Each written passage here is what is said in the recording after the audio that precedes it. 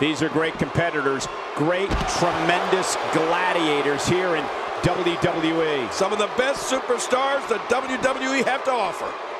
Cole, what's he got in mind?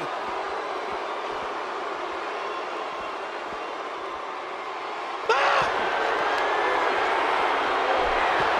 Oh, what just happened?